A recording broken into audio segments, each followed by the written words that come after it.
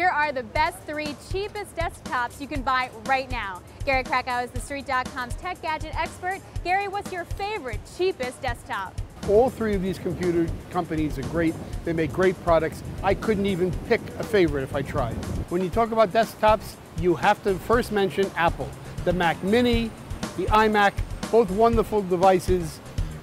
Two different price ranges, one 600, one's 1100.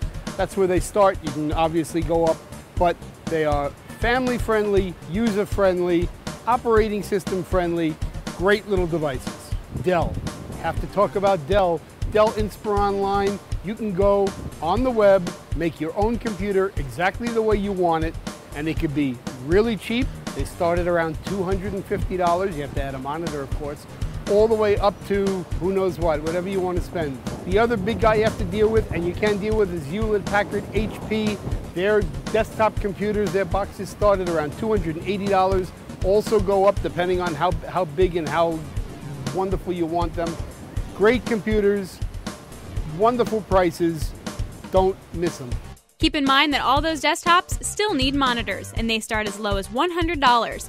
And one setup can get done the basics like viewing and editing pictures, watching video online, emailing, and surfing the web.